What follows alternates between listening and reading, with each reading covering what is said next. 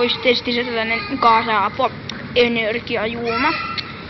Että maistetaan tällaisen korkkaus siitä. Noin. Haistetaan.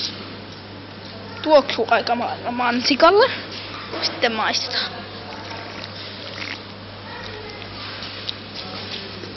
Onpa muuten ihan saatanan pahaa.